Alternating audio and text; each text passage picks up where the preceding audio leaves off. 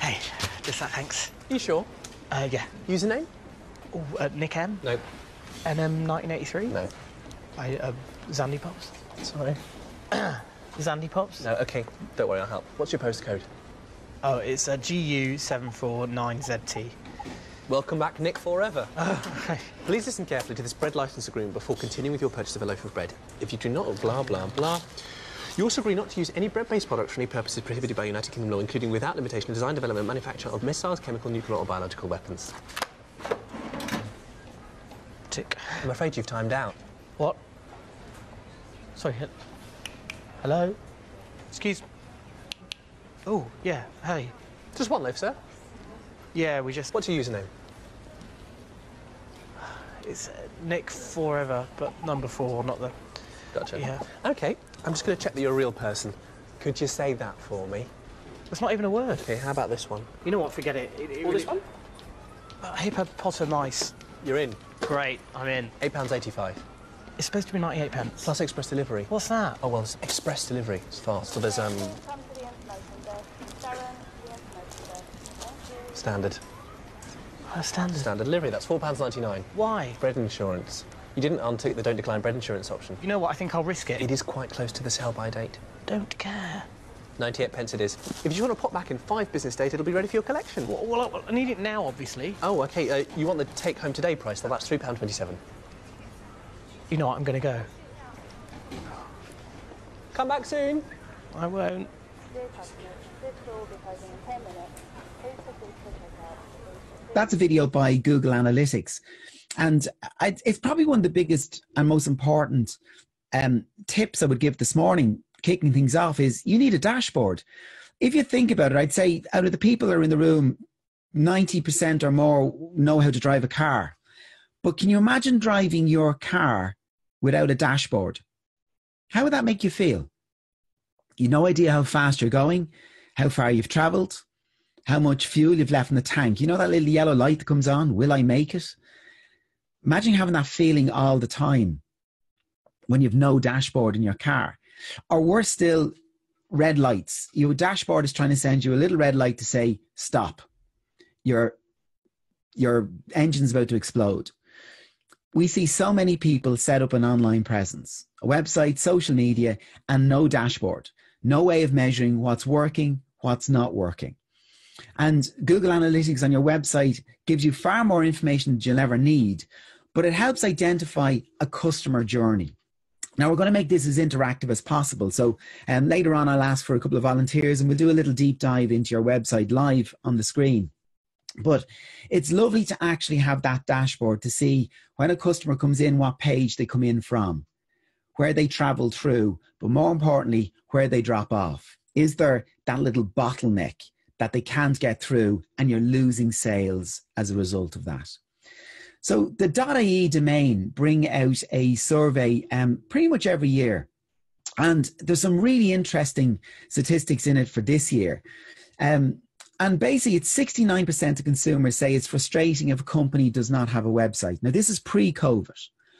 And 69%, whether you are a bricks and mortar retail store or you're a, uh, a distributor selling products and services wholesale, not having an online presence, people find it really frustrating. Why? They're looking you up. They're trying to find your opening hours. They're looking for reviews. We won't buy something until we see somebody else has bought it first and we want to know what they thought. Because lots of people, when they're looking for your products or services, may not know your business at all. They're hearing about you and finding you for the first time.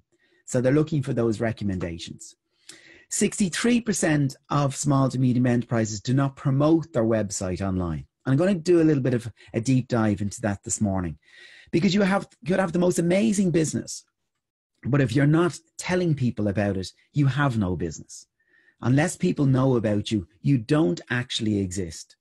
Now people will search so they may not know you but they could be looking for products and services. So i'm going to talk about search as well but primarily what if people don't even know that your product and service exists and that they need it they won't search for it so this is where social media comes in where you can advertise and target specific demographics.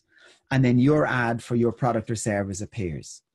And then when you get them to come to your website, either by them searching or by you running a, a social media ad campaign, what happens when you get them onto their site onto your site? Well, only 40% of SMEs with websites can take sales orders online, take payments.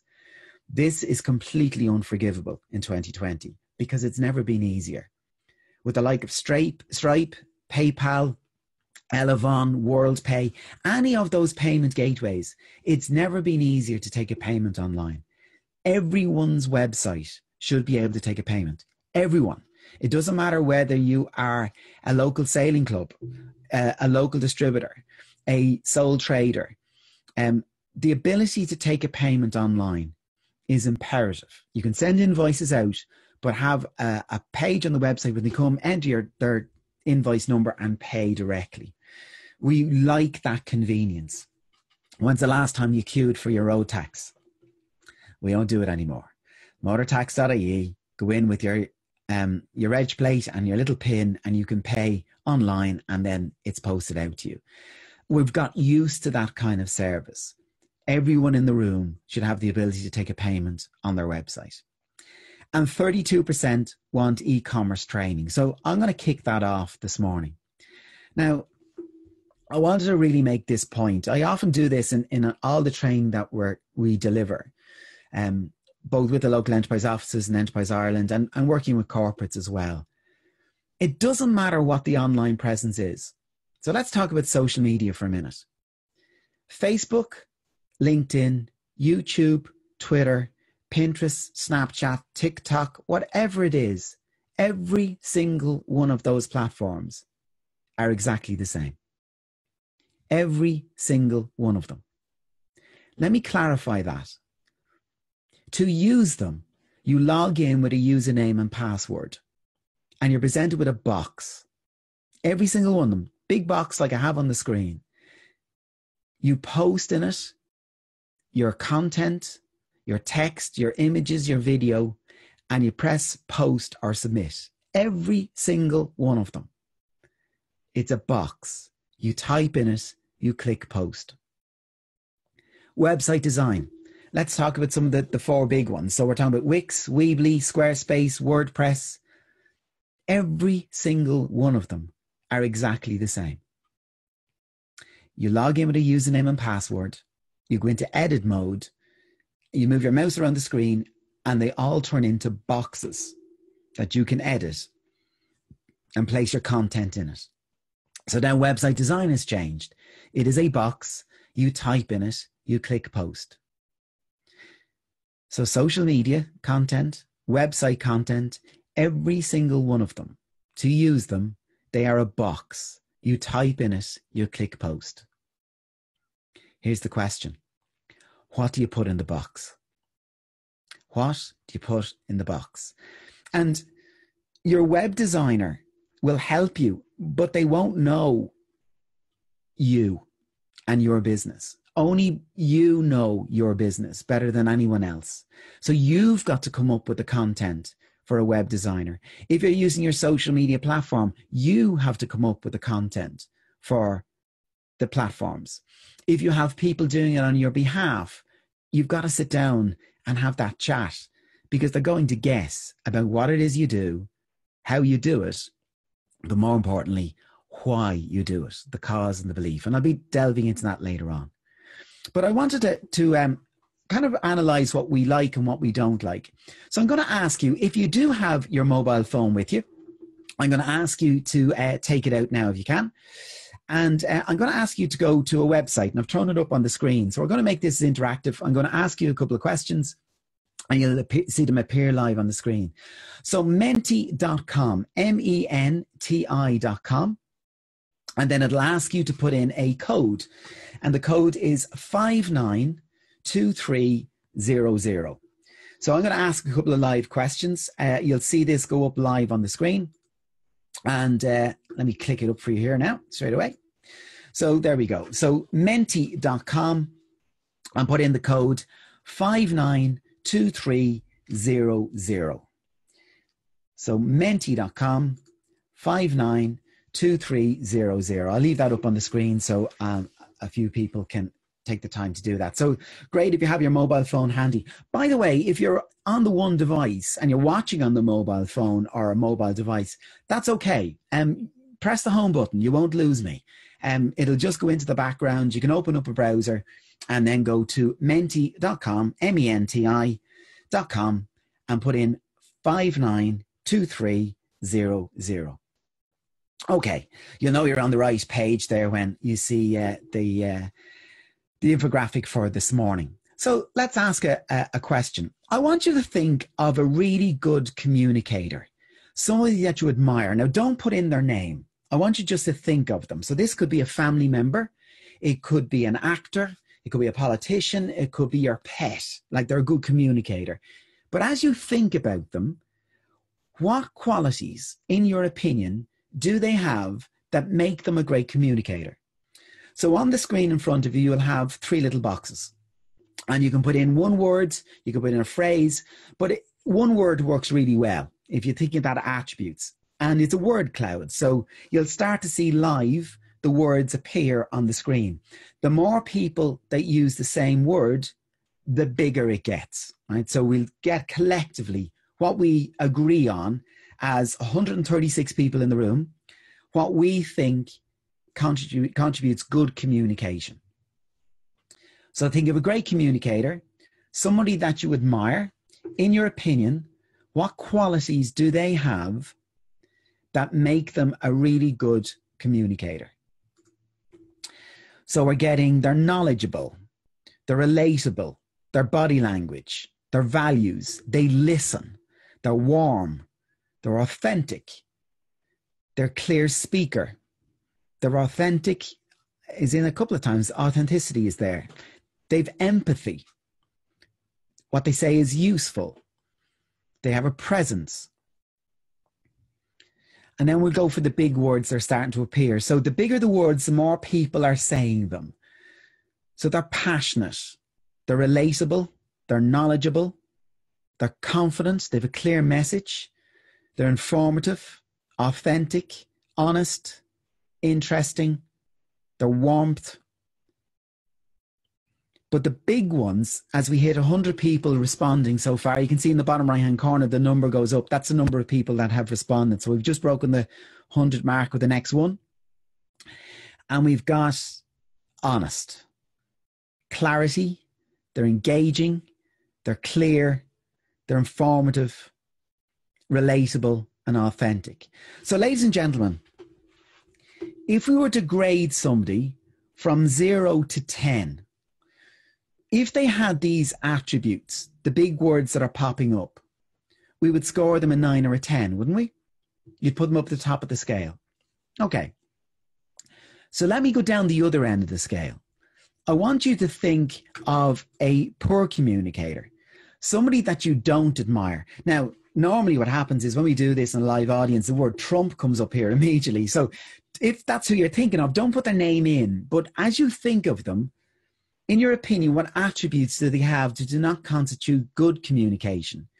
So think of somebody that when they communicate, you don't really admire them. So it could be a politician, it could be a movie star, it could be a family member, it could be a work colleague, it could be somebody that you know that they have attributes that you feel are of a negative connotation when it comes to communication. So, in your opinion, what are those attributes that do not constitute good communication? They're a mumbler. I love that word, mumbles. It sounds exactly as it means. I mumble, mumble, mumble. So they wander off the point. There's a lack of trust. There's no eye contact. They're cold. They're complicated. They have a vagueness. What they say is irrelevant, they're shallow, they're disagreeable, they're too loud, they're too insincere, they have a lack of confidence, they don't share knowledge, they don't listen to anyone, they have a lack of trust, they're very dismissing, they're inauthentic, they're hesitant. And then I'm going to go for the big words that are starting to appear in the middle. They lack confidence, they're shifty, they're hard to understand, they're confused, they ramble, they're cold, they're repetitive, they're aggressive, they're untrustworthy, they're a spoofer. I love that. It's very Irish. It's a spoofer. They're boring. They've no eye contact. They're dishonest. They're unclear, arrogant, vague, and confusing. So, ladies and gentlemen, there's our scale. So, in other words, I asked you to think of a really good communicator, somebody that you admire. And these, in our opinion, out of a hundred odd people in the room that we were able to answer the, that. And by the way, if it didn't work for you, that's fine. I know we've 136 and 106 answers there. It's great. It's a, it's a kind of a snapshot of the room. But we would put people with these attributes up at the top of the scale and score them a nine or a 10. If people had these attributes, we would score them way down and give them a zero or a one or a two. This is what we recognize collectively, the people in the room, as a poor communicator. There's your scale from zero to 10. So, what am I going to ask you?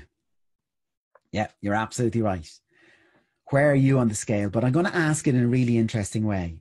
And I want you to think from an online point of view, your clients and your customers. So, in your opinion, where would your colleagues, where would your clients, where would your customers, where would your family members place you on the communication scale? We recognize what's a zero, we recognize what's a 10. I want you to be absolutely honest. This is a completely anonymous poll. So we're going to guess collectively a measurement, an average of the room of where we feel we are. So, in your opinion, where would your colleagues, your clients, your customers place you on the communication scale. And we'll get an average uh, of the measurement in the room. So we're at 70 already and it's flying. We're nearly up to 80. And we're running an average of 68%. So 6.8 out of 10. I'll finish that when it gets to roughly the 100 mark. So we're about eight or nine to go on this. So won't move too far from that, I think. Now, you know what? 69% is not bad. If I got that in my leaving cert, I would have been uh, very happy. So it's hit the 100 mark and it's just dropped one, one uh, point decimal to uh, 6.8.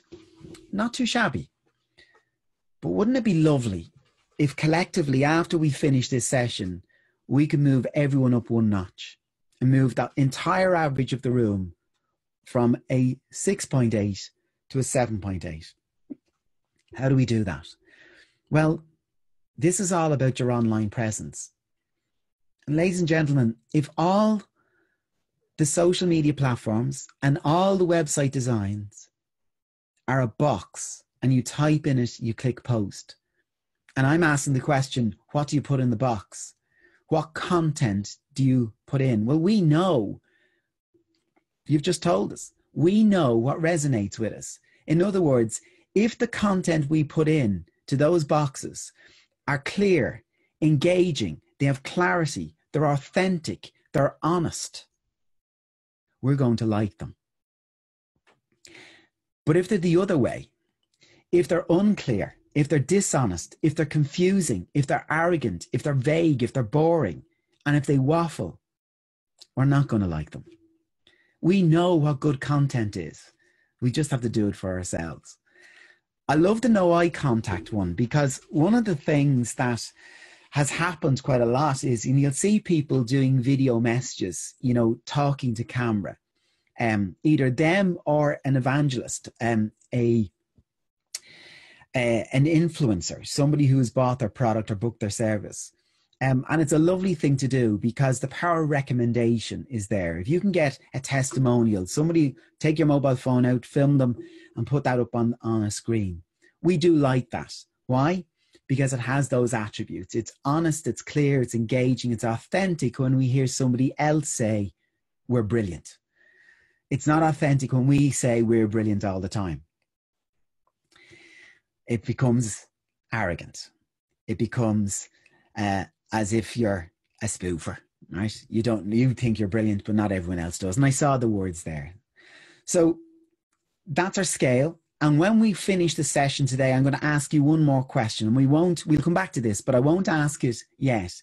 But it will be what one thing will you do to move up the scale? And we're not going to answer that one yet, but we'll come back to it later on.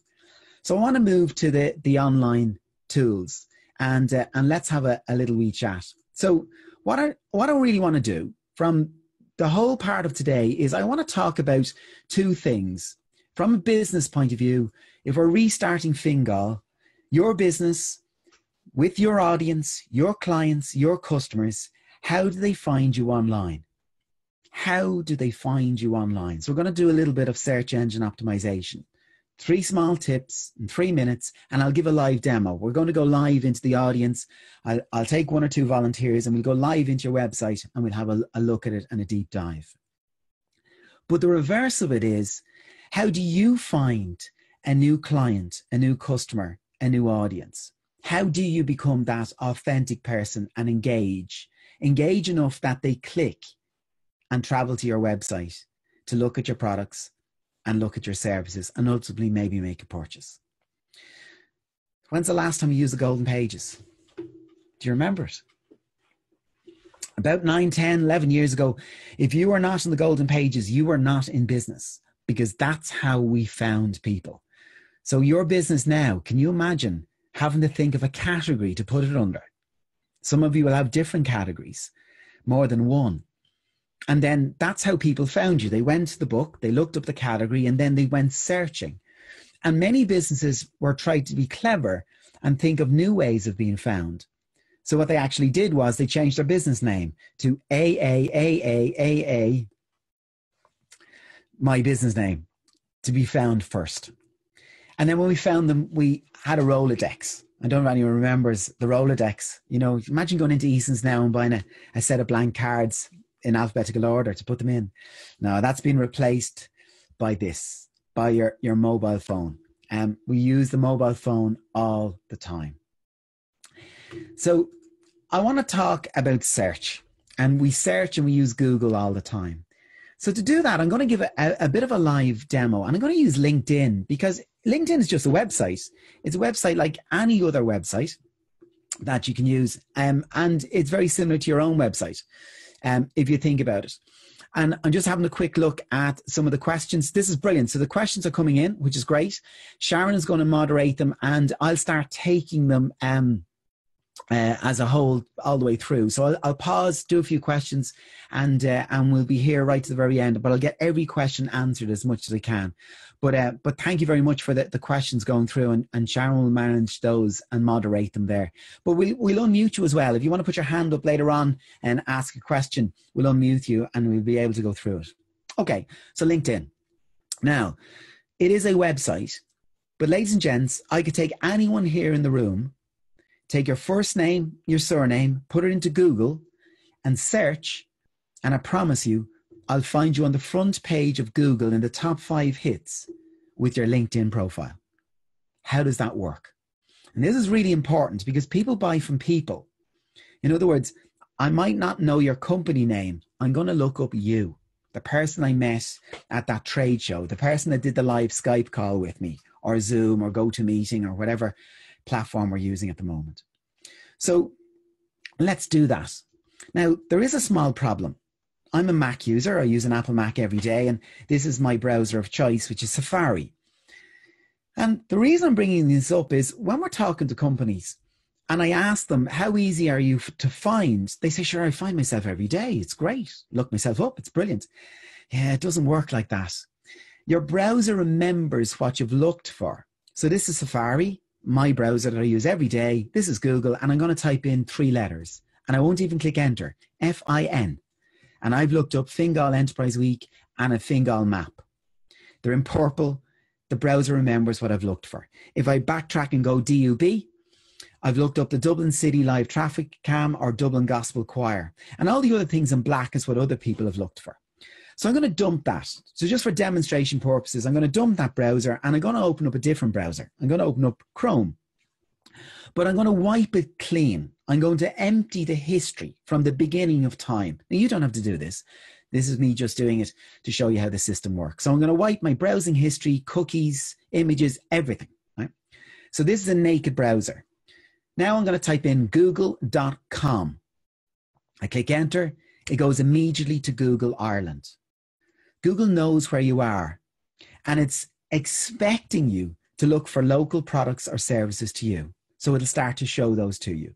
So let's look for a common name. Let's look for John Smith. And we put in location, Wicklow. Top hit, LinkedIn. How did that happen? Well, let's have a look. Let's analyze it. So we go straight in here. John Smith. And you can see here he's an electrical contractor. Now, I'm not logged into to uh, LinkedIn. This is just a public profile. But he says there, John Smith Wicklow. And that's what I looked for. Without those words on the page, he'd never be found. Let's see what else he does. So in the summary, he says he does the maintenance of repair for domestic or commercial installations. Now I'm going to copy that phrase. I want you now to forget that we know John Smith. But we're now looking for somebody to do that product or service to us. So this service, which is the maintenance and repair for domestic or commercial installations, we're going to Google that. Where? Wicklow. Click enter. What will I find? John Smith. Why? Those words appear on his page. Unless they appear there, he won't be found for that search. But there's a problem. And the problem is, John says he's brilliant. And so will you. On your website, you will tell everybody how good you are. You're amazing. You're brilliant. You won't actually say, no, buy from my competitor because I'm not really that good. Here's the problem we don't believe you we are expecting you to say that you're brilliant. Let me give an example. I'm logged in here to LinkedIn, and now I can see John Smith is a second hand connection to me. I've 26 people that know John. I will put much more emphasis on what these people say than what John says. So I've found him. Before I call him, I'm going to look at my list and I see Heber O'Farrell here. Heber, I bought my first mortgage from. I know him, I like him, I trust him. I'm going to call Heber and ask him, How good is John Smith? How well do you know him? Would you recommend him? And all that happens before I make that call. And John doesn't even know that happens. So the takeaway from that is, ladies and gents, you have got to have testimonials and referrals. You've got to. We will not buy your product or service until we see somebody else has bought it first. We don't trust you if we don't know you. And most of the people that are searching and finding you for the very first time don't know you, but they're looking for other people that have bought your product or booked your service prior to you. We won't, when this is all over and the restrictions are starting to be lifted, and we start to travel again, whether it be staycation here at home or whether we are brave enough to jump on a, on a plane over the next couple of weeks with our masks on and head off, we're not going to book a hotel without looking at TripAdvisor, especially a hotel we don't know. And we will look at the, the, the gradings and the results. And we skip the five stars. We always go down to the two star to see what people are giving out about because we want to make our own buying decision. Your client and customer will do that too. So don't worry about negative feedback. Fix it. It's actually much more authentic. And you saw in your word cloud of the things that you value as a good communicator is people that are authentic. So when we see people of all five stars, we kind of don't believe it. We like to see the real world where they've got a three or a four star and we want to see what people are complaining about. But more importantly we want to see was it fixed? I love to see a website have a three star review and then them fixing it. I'm sorry the product that you arrived was the wrong color. Um, we've sent you the correct color and please uh, accept our apologies and keep the other one and hope you can pass it on to someone else and then they come back and say that's fantastic five stars that's much more valuable. So, from a social media point of view, it comes in various different flavors. So, some people like Coca Cola, some people like Fanta, some people like 7 Up. You're not going to know what flavor you like until you open the can and taste it. And social media is very much like that. And especially with clients as well. Their taste changes and new tastes and new cans arrive. So TikTok has now become a thing, whereas YouTube was the king of the castle about four or five years ago, still is, by the way, but TikTok for little short videos has become popular. Should you use it for your business? Well, only you can answer that question by tasting it. And I would urge everybody that don't dismiss the various different offerings. They change all the time. And Facebook, it's kind of moved away, depending on the demographic now, to more Instagram. And yes, it's the same company, but they're targeting different demographics. So if you're looking to target the 25 to 35 age group, it's probably going to be Instagram. If you're targeting the 35 to 65 age group, it's still Facebook. But that's changing all the time. So my first bit of advice would be um, think of a strategy. And we see this all the time when it comes to social media. The rush to start to use the tools should never outweigh the need for a strategy. So starting to think about what you're trying to achieve, achieve and who you're trying to achieve it with. And that helps you pick the actual platform. So I want to talk about a strategy and just throw it up. And then I have a small little exercise for you to do for yourself with a small piece of paper if you have it there with you. No, no, sorry. Would you mind if I come in with a little question for you? Of course you can. Yep. Before we move away from testimonials, what if you're a brand new business and you're just starting out? What can you do to get testimonials or how do you overcome that? It doesn't matter what stage you're at. When we're working with startup businesses, they're going to do what we call trial trading. They'll get family and friends to try their product or book their service, get their testimonials, you know, and a, a family friend, um, it, it's more valuable than a family member. And I'll explain why. Um, if I go to my mum and say, Mum, what do you think of my website? She go, Ah, no, that's amazing do you not think it's a bit too pink? No, you're amazing. You're fantastic. Yeah. So we know that your family members are going to say you're amazing. So a family friend, a colleague, the early adopters. So my my greatest advice is, and this comes back to you, Sharon, because you run a network. Be part of a network. If it's a chamber of commerce, if it's a local networking group, if it's a local BNI, um, if it's uh, whatever it is, that is a the, the local sporting club, whatever whatever it may be. I'm nodding to Brian Turvey there again. Have to get the sailing mention in, you know. But you know, when we open up uh, Howth Yacht Club again, what a great place to go with um, with that underneath your hand. What's happened in COVID? Here's my brand new website. Here's my new product offering. Would you have a look at it and give me a review, an honest review of what you think? So I, I hope that answers the question. But that's that's how to kick it off. Great, thanks, Noel. And it is, and just bringing it back to network for a second, you don't even realize how many people you have in your network until you go out and look. And mindset is often setting your mind to something. So now we know how important testimonials are. Now we can fix our mind on, okay, where can I go? How can I get them? Thanks, Noel. That's actually two questions answered because two people asked that. So thank you. Not at all. And I see Linda say there in the chat that I only have I only have five star reviews, which is brilliant because it's it's from zero to five on Google. So well done, Linda. Um, and they're authentic, except from one family member. But it's great. You know, you have to kick those off and start somewhere. So thank you for that. And by the way, I see the websites popping in, which is super. I'm going to go back to those and, and uh, we might have a chat with you. And thank you for volunteering your website. We might have a quick look at some of them. So um, let me bounce back to where we were. So, so social media strategy. What is it? Well, remember I said you have a plan and have to have a dashboard. Well, a social media strategy to define it you have to first of all be able to measure it. There has to be some sort of dashboard, some way of recognizing what works, what doesn't work. And then you can't do everything, so you prioritize one or two things. I often see people have this massive plan of step seven, step 10, step 20. Start with one or two or three. You can't do everything. So prioritize what you're going to do.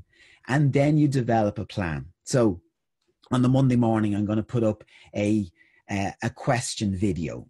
On a Wednesday morning, I'm going to demonstrate the product or service. On a Friday, I'm going to have my favorite post of the week, whatever it may be. But then you decide who's going to control it. Now, I want to pause on this because I see it all the time. A young intern comes into the company and immediately go, fantastic. You look after all our social media for us, our Facebook, our LinkedIn, our Twitter. You're brilliant. Why? You're young. You'll get it. I haven't a clue. And yet, you wouldn't give that person the keys to lock up the premises at night time. We don't trust them with that, but you trust them with their entire online reputation. So, train, you know, sit down, have that conversation that they're going to speak in the tone of voice, the things that we put into that Menti form that makes you authentic, the qualities that you have as a persona in business. And I'll talk about the business persona in a second. But this is where social media is different than a website because it's interactive. You engage, you learn by listening, and then it goes round again. So a social media strategy should never be a once off plan that's just designed and done. It should be a living, breathing document. And that cycle keeps going all the time. So having a page in your diary or on your iPad or something that you can scribble, and each Monday you review the week past and you plan the week ahead. You define, you measure, prioritize what you're going to do, develop the content for that week, who's going to control it, who's going to engage, and then you learn and you listen. And it keeps going again. So I've six questions for you. So if you have a piece of paper, here is your simple social media strategy. Who is your customer? Number one. Now, I want you to get specific. So, what I mean by who is your customer, give them a name. So, imagine my my ideal customer is Susan. She's aged between 25 and 40. She lives in North County Dublin, in Rush, Lusk, Skerries, Balbriggan, Ballyboughal, Old Town, Swords, um, and has on average 2.4 kids and likes um, watching uh, cookery programs and um, listening to Michael Bublé. That's one client, customer, ideal customer defined. You'll probably have a second one, or a third, or a fourth, but get really specific. Who is your customer? My second ideal customer is Sean. He's aged between 35 and 55. He is uh, newly single, divorced, um, drives a uh, a five series or E class Merc, uh, likes rugby, likes um, soccer, uh, likes sports, and uh, and doesn't use Facebook. So you get ex- really dialed down to as much as you possibly can on who is your client or customer, your ideal client or customer. In other words, if I was to say to you, who would be your early adopter? So, following on from what Sharon said there about who would be your your first target for a review or a testimonial, think of that person, the early adopter, that would just get you and they recommend you to someone else. Number two, what are your goals?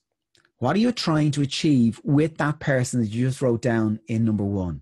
Is it ultimately sales, which generally it should be? But it could be a bit more than that. It could be that you want to make them aware of a product or service. Because of COVID at the moment, you could be completely shut down. You cannot operate at the moment under the restrictions. So you want to keep them engaged. You want to let them know when you're going to reopen. So if you're a hairdresser, that date has constantly been changed. And it was July, now it's coming back into June. And you want to tell them that we're now open for bookings and we're going to put you on a list. That could be what your goal is.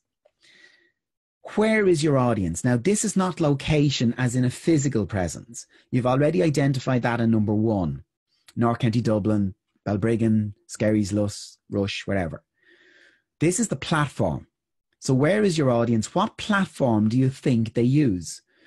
They're not on social media at all, so just use websites. or in social media, are they LinkedIn? Are they Facebook? Are they Twitter? Are they Snapchat? Whatever it may be, have a guess. Have a go. Have a guess. So, number one, who is your customer? Two, what are you trying to achieve with them? What is your goal? Three, where is your audience? What platform? Now, number four, we're getting onto the content part of it. When will you connect? So, first of all, putting the content up is one thing, but when will they see it? So, for instance, in number one, if you remember, I said my ideal client or customer is Susan. She's aged between 25 and 40 and has on average 2.4 kids. If I post at 10 past nine on a Monday morning, will she see it? Generally, pre COVID, no. She's on a school run. So thinking about not just about the platform, but when is a good time to connect?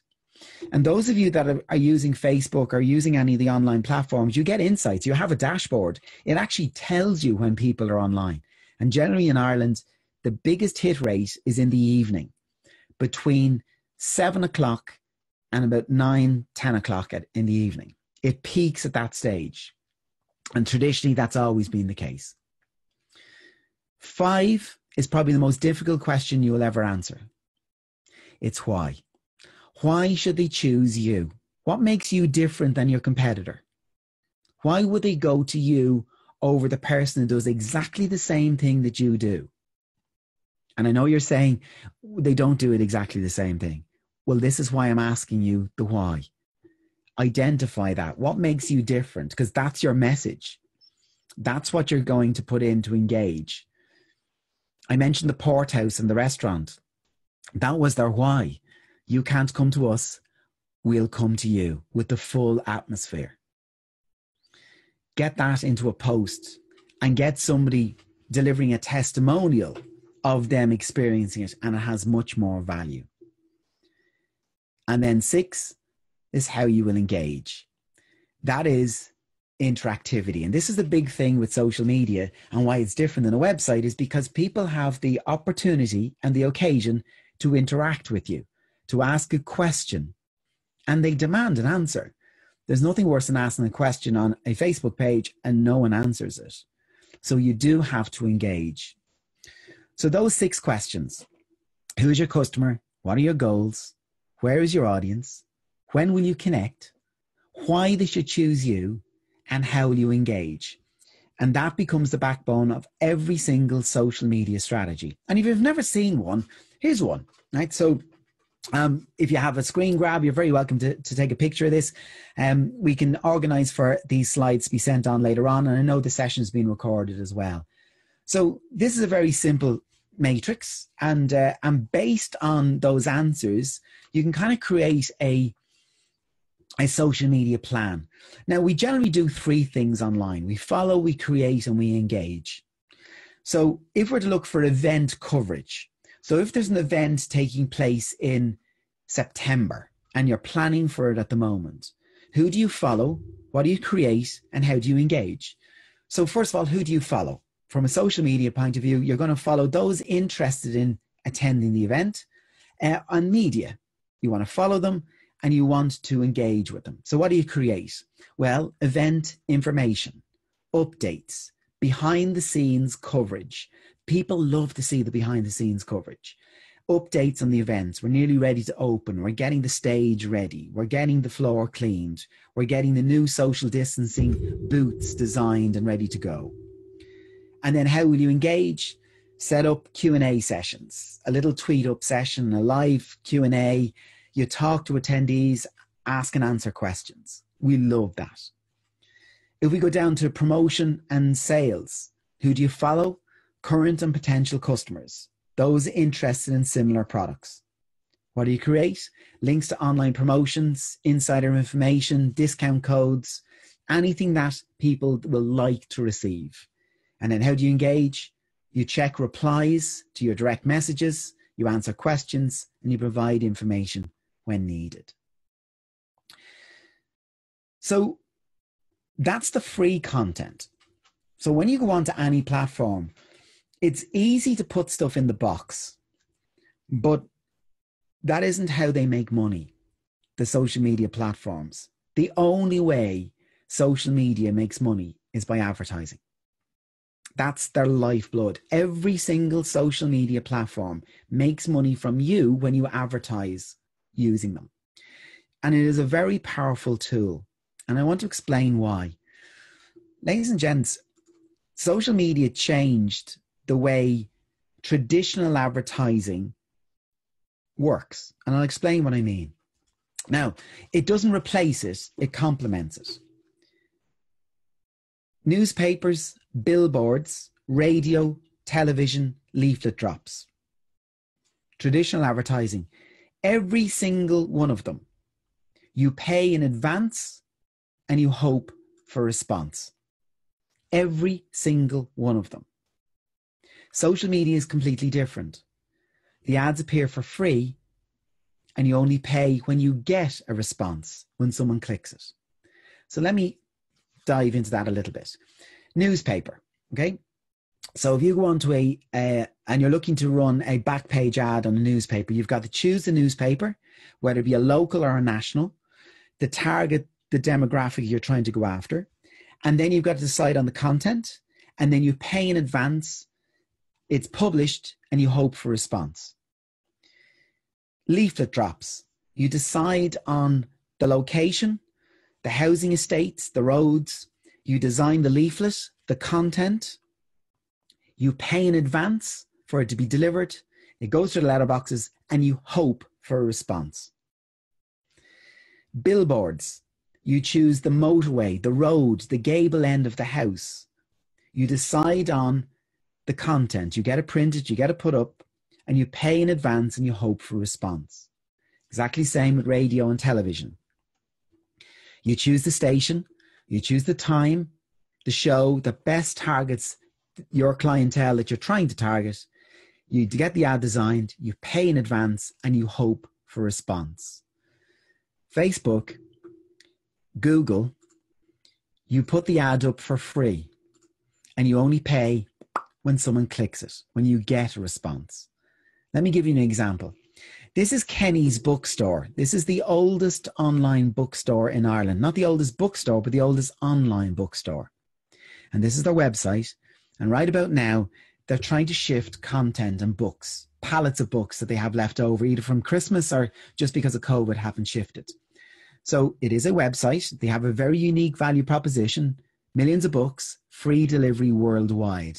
They will post a book anywhere on the world, anywhere on the planet, the price you see is the price you pay. There's no postage on top of it. But let's find a book that they're trying to shift, and they'll probably have discounted it.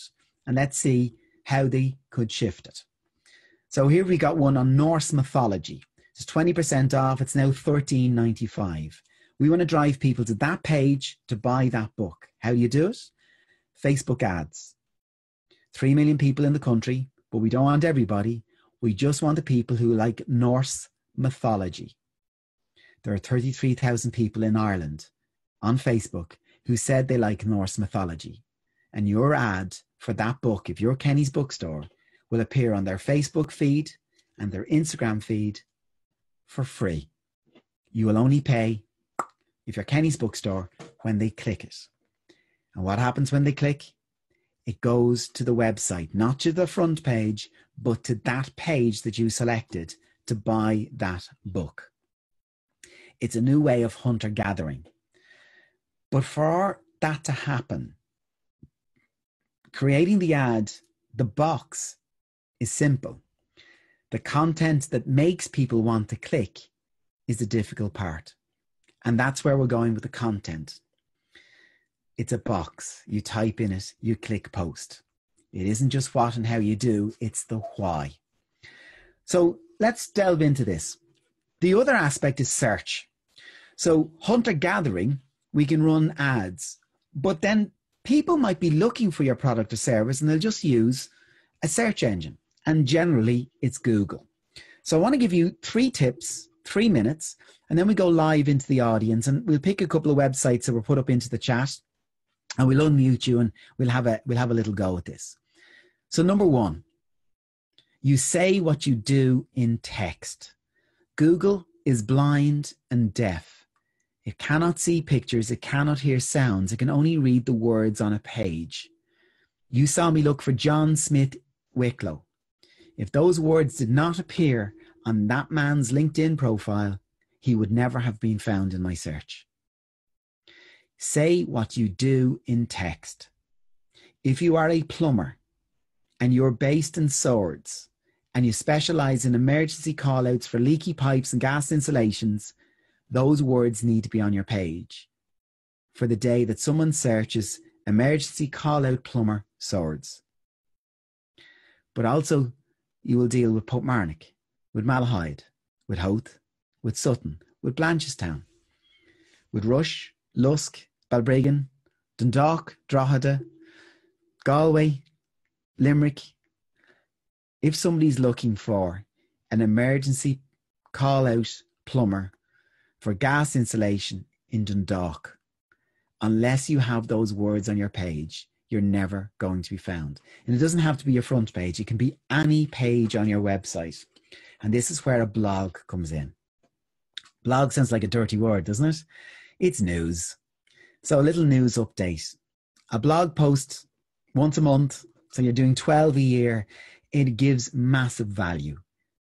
So, if you're talking about the last job you did, if you're a plumber, and talking about that client that had that need for the emergency call out in Dundalk, gas installation, and you're describing the job and the outcome, those keywords are there when someone searches. So, number one, you say what you do in text. Now, some of you may be redesigning your website and want to book a new domain name. You can use that as an opportunity too. It doesn't have to be your trade name. You can say what you do. So I could be O'Sullivan's Kennels, but my website is called ibuildkennels.com. And you'll see quite a lot of the business, sometimes a happy accident that they've had to do this because the name was gone. B&Q would be a good example of a happy accident. So their website is DIY.com. So they couldn't get the B and Q because that little and, that little figure eight and doesn't work. You can't use that in a URL. So they said exactly what they do. They bought DIY.com. And if you look for anything DIY, you're going to find B&Q on the front page. So number one, you say what you do in text. Two, active, updated content. You can have a Michelangelo designed piece of art of a website, but if you're not updating it regularly, Google doesn't know whether you're alive or dead, and it's going to stop sending you traffic. We see this all the time. A 9, 10, 11 year old company are doing great for a while, and then a brand new company finishes a start your own business course with Fingal Local Enterprise Office, and they set up in competition, and their website is killing it in search. They're appearing above everyone else. Why? They're new, they're fresh, and they're updating their website. I'm often brought in to consult with the existing business, and my first question would be, When's the last time you updated your website? And the answer generally is, My God, it's at least four or five years now. Problem solved. So, how often do you update your website? Well, if your nearest competitor is updating their website every three to four weeks, you've got to equal that or better it to beat them. You say what you do in text, active updated content. And lastly, number three, links. Links are really important. So let me explain what links are. Well, first of all, they are the roads that Google travels on, or any of the search engines. They all have crawlers or robots, and they trawl the internet 24 hours a day, seven days a week. They will arrive on your website on average every five to seven days. They'll scan each and every page, scan it, index it, take a snapshot, and then they start following the links. So if you look on an average website, you're going to have a menu bar on the top, home, about us, contact us, product services. Each one of those is a link.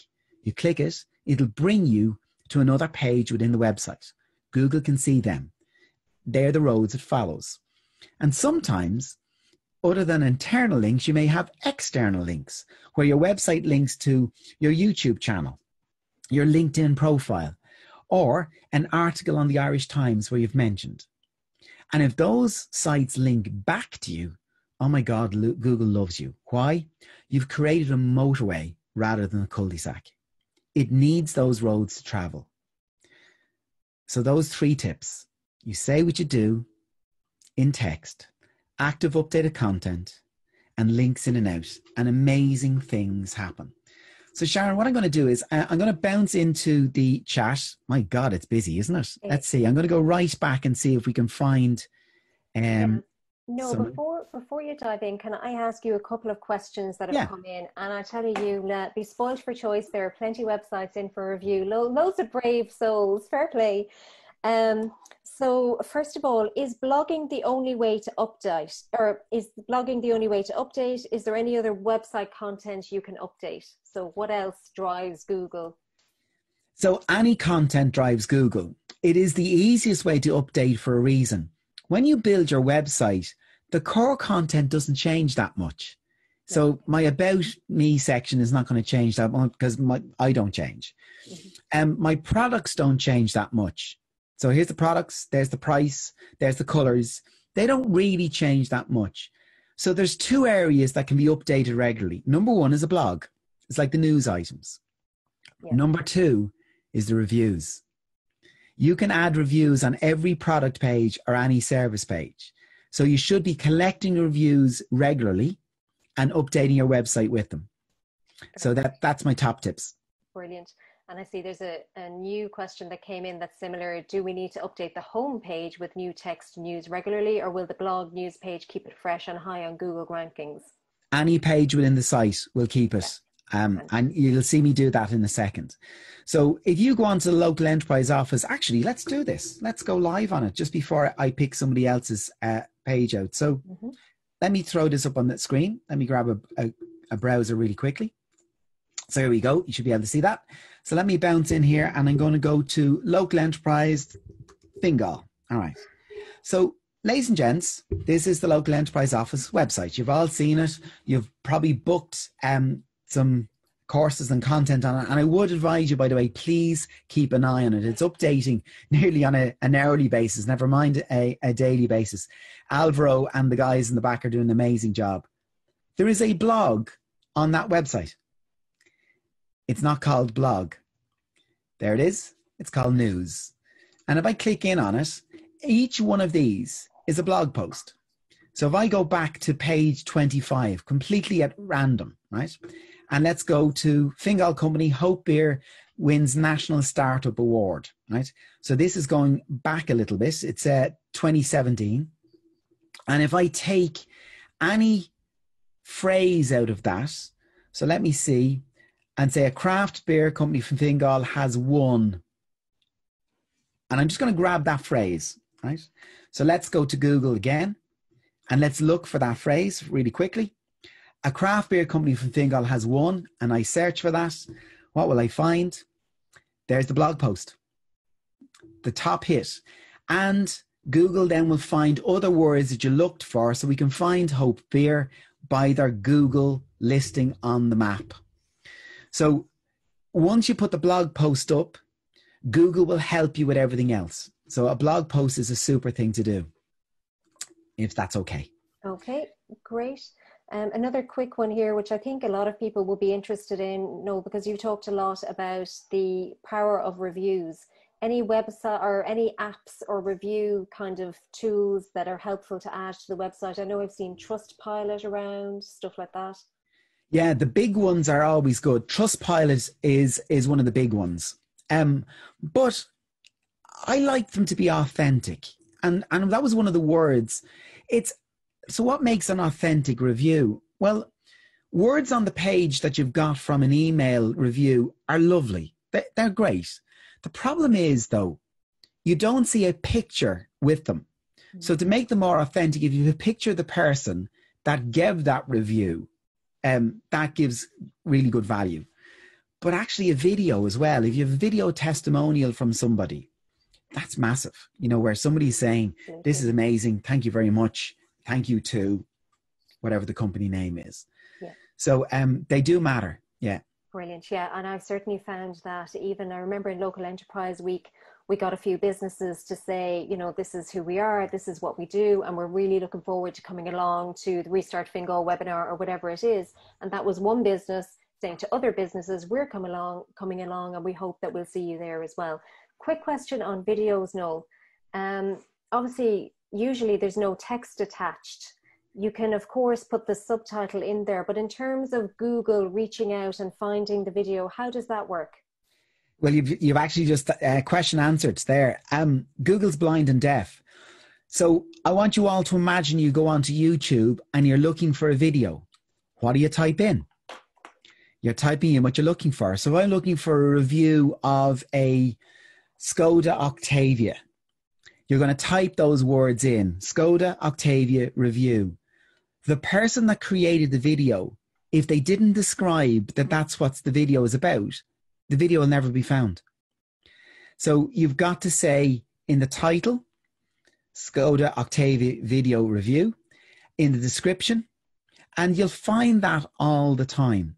That um, if people do it, the video is found. If they don't, it'll never be found because Google is blind and deaf. So every video and images, by the way, I'm going to do that in the live demo here. So um, videos, yes, descriptions, but images as well. So let me go down here. Um, let me see. Okay, so I've got Smoothie Bikes and I've got New Fields. So um, Dennis, you put in newfields.com. So I'm going to see if we can find Dennis. Let's see. There's Dennis. I'm going to unmute you, Dennis, and and get you to say hi. How are you, Dennis? Are you well? How are you? How's things? Thank you for volunteering. This is great. Yeah, no worries. Yeah, no, thanks for picking me. so Dennis, what I'm going to do is um, let me just throw up Google and uh, and we'll go on a little bit of a, a customer journey. So, Dennis, um, what would your client or customer type into Google to find you? So, I want you to put yourself in your client or customer's shoes. You know what your website is; they don't. They, they haven't even heard of you before. Yeah. What would they type in to find you? Off you um, go. I suppose uh, microgreens um, that's what my business is based around. Uh, Microgreens. Yeah. I love this. now, you know what? Um, on my oath, by the way, Dennis is not a plant. All right, absolutely, because you couldn't make this up. This is brilliant. Microplant, yeah. Uh, yeah, boom, boom. I love it. So, microgreens. Okay. Yeah. So I put a space in between it. You can see Google is starting to uh, to correct me. And you'll see that if you mistype something, it's trying to help you along. Now, Dennis, where are you located? In Howth. You're in Howth, okay. Now, if I do this live, generally in a national webinar, I love when I get somebody from Cork or Galway or Donegal, and I'll tell you why. Google knows where I am. I haven't said where I want to find the microgreens. I've already told you I live in Swords. Watch what happens when I click enter. It'll start to find ads or people close to me. It knows I'm in Ireland. It's found Quick Crop, Irish Microgreens, FruitHillFarm.com, uh, The Ethical Gardener, The Micro Gardener, and then Wikipedia.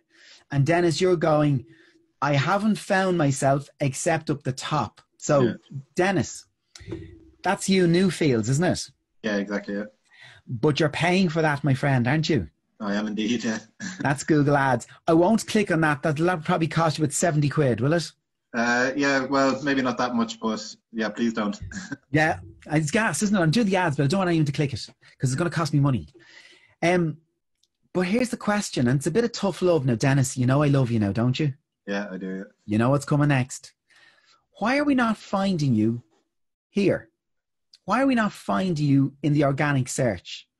Well, let's have a go, right? Let's have a quick look at your actual website itself. So your, your website is newfields.com, isn't that right? So let's have a quick look. Now, Dennis, I'm not going to go to your live site. All right. So we found you. Here you are. And we found you by looking for Newfields. I'm going to click this little down arrow beside your website. You might remember in the introduction, I said Google has this robot or crawler. It throttles the internet 24 hours a day, seven days a week. And it scans, indexes, takes a snapshot, and then starts following the links. This is the snapshot, the cached version. This is the last time Google visited your page, which was the 22nd of June 2020 at 5:57 a.m. So while we were setting the alarms and getting ready to come up and have our breakfast, Google was on your page and having a bit of a gawk and having a thrall. Dennis, this is what we see. It isn't what Google sees. Google is blind and deaf. It cannot see pictures. It cannot hear sounds. It can only read the words on the page. I've clicked the text only version, and this is your front page and the words that Google can see. You asked me to search for microgreens. Yeah.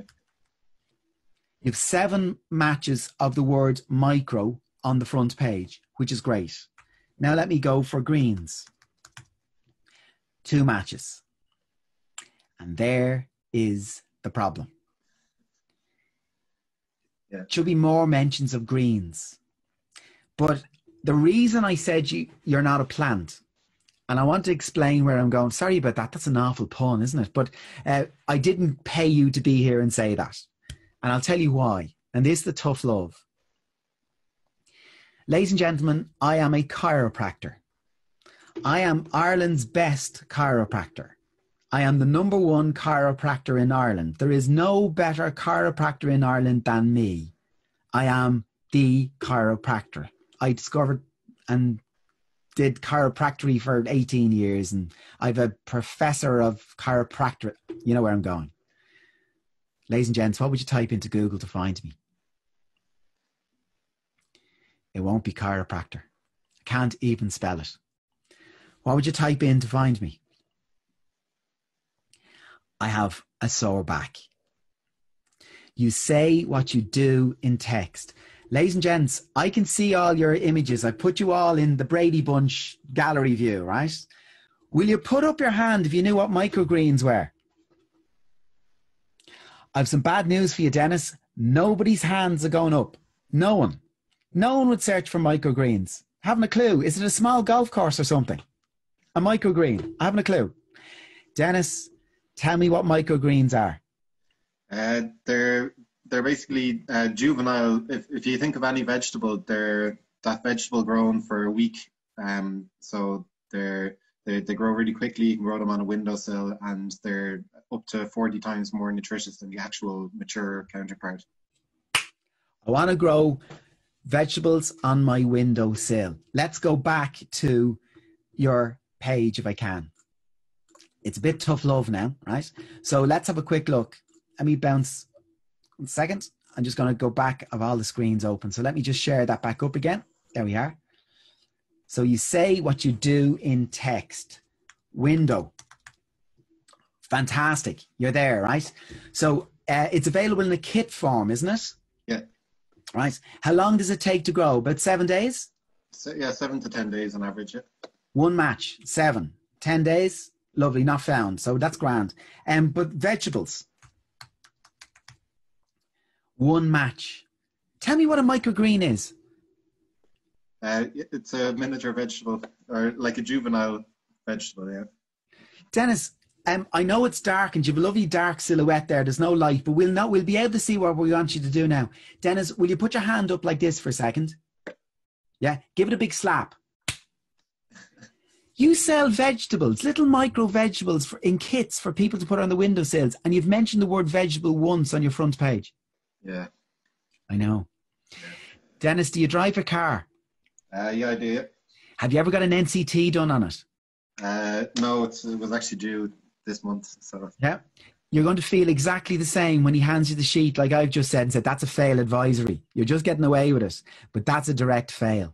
And it's a great thing to do, ladies and gents. And by the way, I'm asking for a big, do you know what? I'll even give you a virtual round of applause. Brilliant. Dennis, thank you so much because everyone else in the room is going now, oh, thank God I didn't put my website in there now. But it's so, so important. You cannot fix something unless you first become aware of it. So while the NCT, we might feel it's a pain in the bottom, but if there's something wrong with the brakes, it's good to know about it. You know, so get the test done on your online presence. Um, if I'm to go back, so let's let's rewind back. Forget about microgreens, Dennis. If you were explaining what microgreens were to somebody who knew nothing about it and the benefit in it, what would you say? Um, yeah, that well, the the speed with which they grow. So you you can kind of if you have three or four um, trays of microgreens growing, you can pretty much cut out any bagged pre-washed salad leaves from the supermarket because you can just kind of grow a constant supply within a week and basically fill in all those little gaps of nutrition and minerals and vitamins and an- antioxidants that you kind of you'd, you'd miss and you'd have to work a lot to incorporate like the adult mature versions of the vegetables into your diet as much as yeah just yeah Sharon, we're recording this, aren't we? We are indeed. Dennis, you need to get a copy. Everything you just said there, everything you just said, there is your first blog post. Now I know this is your your your front page, and we're just looking at the front page, but those words you just used need to be on your page. I I started to type some of the words that you said. Uh, you mentioned speed. You can grow with speed. The word speed doesn't mention. You mentioned uh, vegetable. You mentioned leaves. No. Uh, you mentioned uh, shop. No, nothing. The benefits. So there's a lots of words there, but one day somebody's going to look for those products, services. Those words need to be there. Does that make sense? yeah Now, let me go back for one thing. I, I'm just going to bounce back because the, the website looks lovely. It's brilliant. Um, and we can see visually when we get there, we see what a microgreen is. The problem is getting there. What's the traffic to your website like at the moment? uh, like right now Yeah. um, the last week. Uh, yeah, well, I started running Google ads and uh, Facebook ads, so the traffic's actually pretty all right, but it's the conversion rate then is is quite low. Yeah. So you're getting people to the site, converting them is the problem. Yeah, But you're getting to your site by paying for them, respectfully, because you're running the ads. Isn't that right? Yeah. So what I'd love you to do is pause the Google ads for a week or two and concentrate on some of the keywords on the site. Now I know this is just your front page and it's a bit of tough love, but it's a great it's a great example. Let me just bounce back to the page for one second. And Sorry, Noel, as you're doing that, a quick, Hmm. very quick question. Uh, does that exercise only work on the page you have viewed or cached? If Dennis's keywords were shown on his other pages, would that not have pointed Google to his site? Yeah, it would. So the problem was I looked up microgreens and I didn't find them. I found other people first. Why? They use those words more. That's all it was. So it doesn't matter what page you're on. If we did a complete trawl of Dennis's site and there's 55 pages on the site, hypothetically, I wonder how often the, that phrase microgreens is used. Like if we're to look on the front page, um, greens was only mentioned twice, and that's why we didn't find it. Now, in fairness to him, so there's green. The word green is only twice on the front page. So, um, by the way, thank you again, Dennis. It's a, it's a great example. Um, it could be, and and to be fair to you, it's probably mentioned 60, 60 times throughout the site, but it wasn't enough. It's not enough. My next question is: When's the last time you updated the site? uh, uh, just last week actually. Good Uh, man. Yeah. yeah. And and the reason I know that's true is because it says the 22nd of June. Right. So it was only two days ago. So to put to put that into context, rte.ie forward slash news. So RTE's news page. How often does Google come back to it? Every day? Every hour? Every couple of minutes? Yeah. Why? It's being updated every couple of minutes. In other words, if I said to you now, did you hear there was a massive hailstorm and blizzard in Letterkenny this morning? If you were to Google that, you will never find the news article unless Google has found it first. That's it. So this afternoon, the minister, I think, is going to announce um, the opening of the airports from the 1st of July, possibly, hypothetically. That's what the rumour is going to be. If that news conference happens, the reporters report on it, they post it online. You will not find those unless Google has found them first, if you search for them. You'll find them on your social media feed if you're following the people that report about them, if that makes sense. Dennis, thank you so much indeed. I re- really, really appreciate it. You give me a lot to think about. That's the whole idea. That's the whole idea. Now let me move on down and thank you again. Um, let me see. Okay, Caroline Hickey, mspace.ie. So let me see, see if I can find you. I'm just, it's like the lotto. I'm just drawing them out here. So, uh, Caroline, how are you? You're very welcome. How are you? Thank you. Now, do you know, I don't, I must be picking the people that are all silhouetted in dark, but there you are, Caroline. Apologies.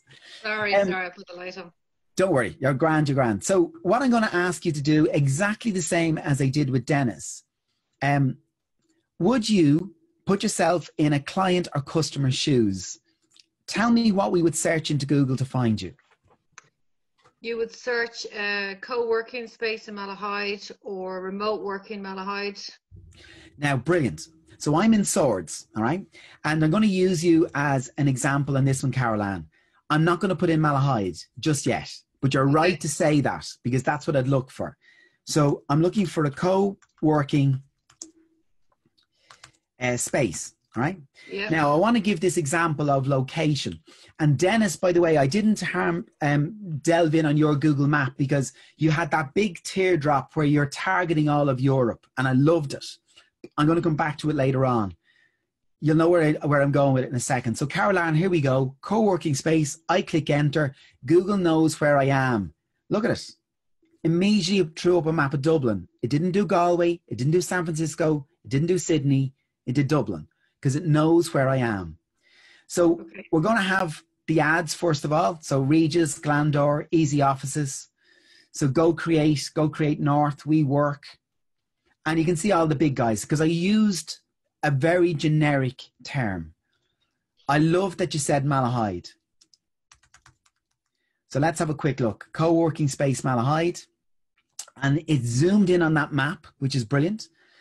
M Space, Creative Dock, and The View. Caroline, is any of them you? M Space. M Space, brilliant. Now, the reason, right? The reason that she's first, and you can take a bow on this one, Carol Caroline, reviews. Carol Ann has five reviews, and they're all five stars. It actually doesn't matter about the, the number of stars, it actually means the number. The Creative doc have no reviews, and The View has only got one. And that's why you're top in the list. The more reviews you have, the more interaction, the more you'll appear on that. By the way, I'm not going to leave this page without addressing the need to be on Google Maps ladies and gents, every single person, no matter what your business, should be on Google Maps. And you can see why. Look at the space it throws up. And if you were to Google me, for instance, so I told you I live in Swords, what happens is you put in your address and uh, Google will send you a postcard with uh, a code. You enter the code and then you're live, but you can desanitize yourself. So, in other words, I live in Swords, but I said that I deal in Dublin, and I put that space a radius from the center of Dublin. It doesn't even cover Swords actually, which is fine. Um, Dennis did it differently. He said, "I'm in Ireland. I do France, Germany, Belgium," and you could see it. It it continued across that way. So let's have a quick look.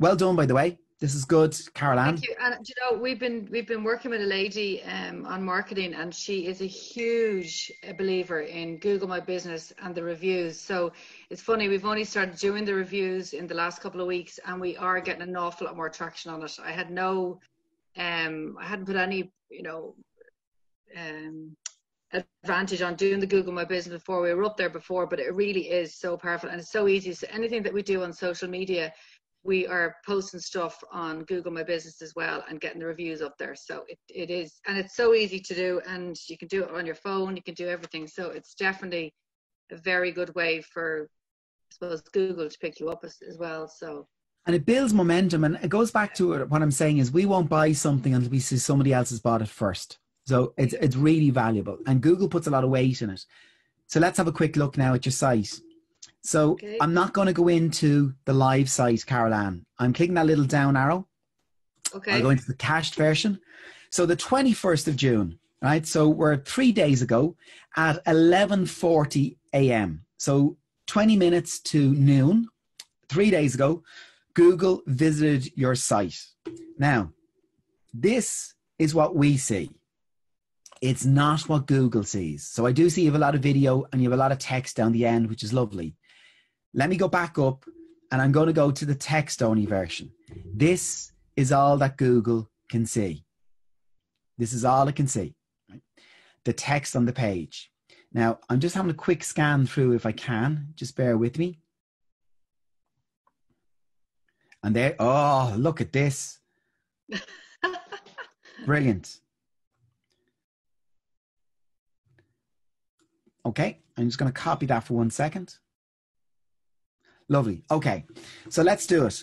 Now, I'm going to search, and I this is only your front page, and and that was the disclaimer um, for Dennis as well because um, I don't have the time to do everyone's page, so I'm just going to use the front page, um, which is the one that Google threw up to me. So we're looking for co-working. So the word co, 43 matches of just co, right, as in the word, hyphen, working, right. So you have that um, in twice with the hyphen. Now I include co space working. Haven't found that. Now, I'm surprised that it's as low. That needs to be bigger. So you do not have the word co work as in without the hyphen anywhere on your front page, Carol Ann. Okay. Carol Ann, Yeah. you put your hand up like this and give it a slap? They're all about co-working space, and the word co-work without the hyphen doesn't appear. With the hyphen, it's only twice on the front page. Now, it's tough love, but you know where I'm going? Malahide, right? Yeah, seven matches. So ideally, you should have co-working space Malahide. So let's see the word space. 35. Now we're talking, right? Because it's all about a space, right? Um, and the key is in the words because you call it M space, right? So space appears 35 different times. Now, workspace, twice, right? So co work, workspace. Tell me what they do in their spaces. Tell me all the things. Why would somebody need a space in Malahide? To do what? To work. To work. So the word work, 33 matches. Now we're talking, right? What kind of work? Um, office work. So it's like not having to work in an office. Yeah, 22 matches. That's brilliant. So I'm looking for office Malahide, right? It's it's getting good. What else? What else would you do in, in the office? Um, What's the Flex- facilities? um, an all-in price. So it's you, you know it's no um, hidden cost. So it's it's Lovely. So- paid amount. That's it. Yeah. Word flexible was in it. Let's see the word cost. Not not found. You're not talking about cost at all on the front page. Right? So flexible, but what's flexible? Right? The hours. Let me see if we've got hours. Yeah, one match. Two or more hours. How about security? Yeah, one match. You can see the kind of things that I'm looking for. And here is the greatest tip to Dennis, to Carol to every single person in the room. Ladies and gentlemen, do not let a client or customer out of your sight without asking them that question. What would you type into Google to find me? You will be shocked at what they say. Sure, I don't do that at all. You've got to take their search terms. You're a chiropractor. I'm looking for somebody to work with my sore back. You take those suggestions, those words, and you incorporate them somewhere in your page. So I can see here that you have dedicated desks, private office, be more productive close to home. They're brilliant. But yes, when I asked you to, to um, think about what your client would put in, some of the words were failing. Right? It's a lovely way of doing it. Okay. You can't you can't change something unless you first become aware of it. So And sorry, just wonder, can I go in and look at the space the way that you did it through the cache? yes, you can. And I can do uh, that. Okay. and I'll show you how it's done. There's a great little website called cachedview.com, and I'm going to just throw it up on the screen for everyone to, to see. So if you go to cachedview.com, okay. you can put in your website there, and it will give you a snapshot of the last time Google visited. So I'm going to do this. I see um, Brian is here, and uh, I'm going to use uh, HYC, hotheyachtclub.ie. Click enter. Let's have a quick look. So the 23rd of June.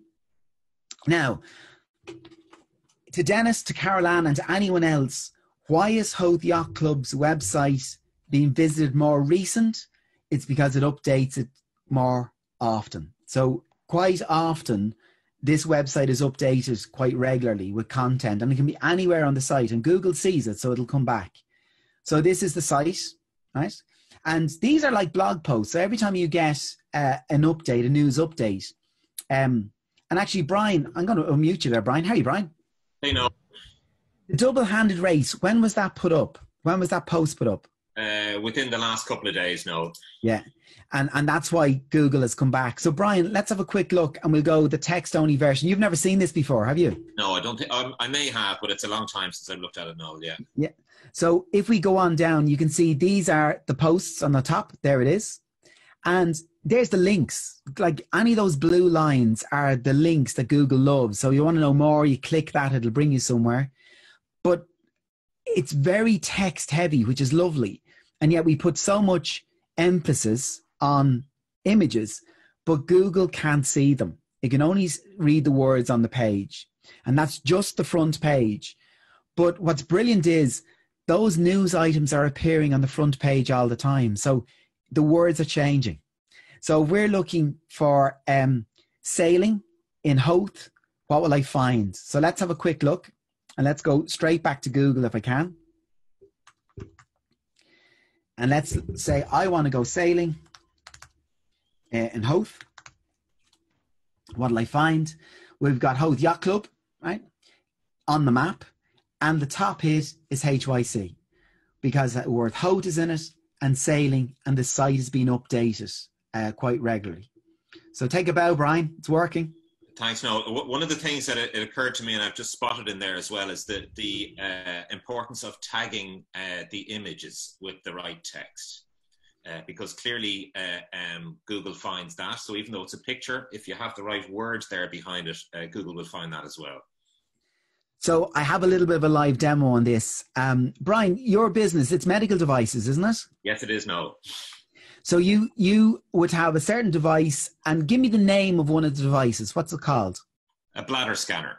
A bladder scanner, right? So we've all been here, right? So if we go, I'm always dangerous looking for medical devices live on a on a on a, a page with hundred people in the room, but we'll go for it. Um, a bladder scanner, okay? So this is the search in Google, right? As in the words and the websites and the videos.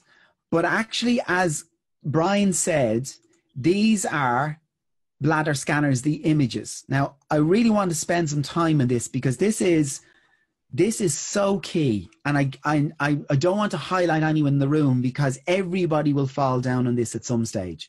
I'll explain what I mean ladies and gents, if you get a photographer to do um, some stock photography for you, or you get some um, stock images, the photographer will give you a USB stick with all the images on it, and they'll all be called DSC127.jpg, DSC128.jpg. Or if you get stock photography, it's Shutterstock 157734. Nobody will search for that. Let me look for that DSC127.jpg. Every single one of these images, every single one of them are different. Every single one. Except they've one thing in common. Every single one of them are called DSC127.jpg. Nobody will search for that. In other words, Brian, if you decided to give up medical device and start making garden gnomes, and somebody was looking for a Mad Hatter garden gnome in a black coat, they would never find that image. Why? It's called DSC127.jpg, Katharina Kalkachava. Bladder scanner. Every single one of these images, I promise you, has the description of bladder scanner in it. You can pick out every single one and it'll have those words in it.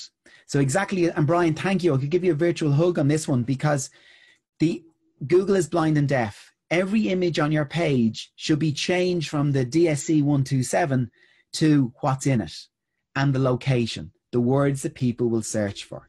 So thank you for that. I'm watching the time, so um, I'm going to uh, I'm going to bounce back into the slide deck, and I want to introduce you to uh, an amazing lady. Um, it's it's such a great story, and I, I love sharing it. I want to introduce you to this amazing lady here. This is Ivy Bean. So, what the hell has Ivy got to do with search engine optimization? Well, back in 2008, I joined Twitter for the very first time, and I didn't get it. Didn't didn't stick with me at all. So I dumped it. And later that year, I had to go back onto Twitter for a client um, of mine at the time. And then I suddenly got Twitter. Why? I met Ivy Bean. Ivy became a little bit of an internet celebrity as the oldest person on Facebook and Twitter at 104 years of age. You can actually see her handle there in the screenshot is Ivy Bean 104. She used to change it each year. And I just thought she was amazing. Let me explain why. Ivy was in a little nursing home in Bradford in the UK. And all the people in the nursing home were using the technology that they knew and understand, which was pen and paper. So they were writing uh, their, don't pick up a green sheet when you have a green screen to do. So they were writing um, on uh, postcards and letters and, and sending them out to family friends and pen friends, and they were getting a response every six or seven weeks. Ivy was on Twitter, and I was getting a response every six or seven seconds. So what was she tweeting about? The most simplest of things. How much she loved her fish and chips on a Friday night. How much he loved Noel Edmonds in Deal or No Deal. And you can probably see it there on the screen. Looking forward to Deal or No Deal later on today. But every single opportunity that she got to tell people how much she absolutely adored Peter Andre. She took it. She loved Peter Andre and she told everybody about it. And then he came to visit. Welcome to the world of the influencer, the testimonial, the referral. All the people that followed Peter Andre suddenly followed Ivy Bean. And ladies and gentlemen, we take that for granted your client, your customer, they have a following. It might be two or three people in their family. It might be three or 400 people on their social channels. If they mention you, you now have an influencer advocating for you. In this case, has quite a following. So her Twitter feed exploded. And she'd loads of people to tell about her fish and chips on a Friday night and Noel Edmonds and Deal or No Deal. And Gordon Brown brought her to Downing Street at the time, and he was Prime Minister. So when she passed away, I couldn't let that day go without acknowledging her in some way. I thought she was amazing. Ladies and gentlemen, this is not a trick. You can do this on any browser, on any device, on any continent on the planet. If you go on to any search engine and you type in three words Ivy, Bean, and Noel, the top hit will be my blog post that I wrote on July 29th, five days to go to 10 years ago, the day after she died. Let me do what I did for Dennis, for Carol Ann, and for Brian on the images. Let me look on this blog post for the words that I search for, like Noel. And there you have it, written by Noel Davidson. How much he enjoyed Noel Edmonds, Deal or No Deal, Ivy Bean, Nobody has written a blog post in the last 10 years with those three words in it. The day they do, they will beat me. They will become the top hit for those three words. How do I beat them back? I write another one. Welcome to search engine optimization. You say what you do in text, active updated content, and links, and amazing things happen. So, I have a little bit of homework for you all. I, am conscious that I want to take a few questions as much as I can in the last 15 minutes, but I have a video that I really want you to watch. Those that know me know at every single occasion I get, I show this video. And there's a very good reason for it. We do three things online. Generally, we call them the three P's we protect, we promote, we participate. If I asked every single person in the room what it is you do, you'd be able to tell me 100%. You know what you do. It could be bladder scanners, it could be co working space, it could be microgreens. You know what that is. It's easy to protect what it is you do. If I ask you how you do what you do, I wonder what you tell me. How do you do what you do? Well, I get up on a Monday morning, I answer my emails, I fulfill the orders. When you figure out how you do what you do, that's easy to promote. And most businesses just do that. And then they wonder why we're not getting sales. This is what I do and how I do it. Buy me. It's not enough. It's not enough. Why? You're the same as everyone else in the same business as you. You're all saying the same thing. This is what I do and how I do it. So there's something missing. When you figure out your why, not just what you do and how you do it, but why. Why do I sell bladder scanners? Why do people need them? Why did I form the business in the first place? Why is co working space a thing? Why Malahide? Why not co working in Ballsbridge? Why not co working in Portmarnock? When you figure that out, that becomes the message. Why are microgreens a thing? Why would you grow vegetables on your, your windowsill? But as you heard Dennis say, the benefit becomes the why. It's sustainable. You can turn them around in ten, seven to 10 days. They're small, they're nutritious, it saves on waste, trips to the supermarket. Your homework is starting with why. And the video I want you to watch is the third most popular TED talk on the planet. You just give this guy a Google. Simon Sinek, S I N E K, Simon Sinek. And you'll recognize that he it's a very it's a really good video. I show it every occasion i can. You only have to watch the first seven minutes. He talks about what we go through as a buying process. And it isn't what you do or how you do it it's why so i wanted to show a different video today to explain it and there's a book that i read recently called the power of moments um, and this is dan heath talking about the power of moments. And he wants you to build peaks and stop filling potholes. What do I mean by that? Well, there are two words that we use in the English language quite a lot, and it's underwhelmed and overwhelmed. What does whelm mean? Have you ever heard anyone say, Do you know what? I'm whelmed by that? We don't use it because it means average. We either overwhelmed or underwhelmed. And what are the things you remember? You remember when things are overwhelming, when they are peaked. Have a look at this. This is Dan Heath. And in your content, everything you put online, you try to build peaks and stop filling potholes. Have a look at this.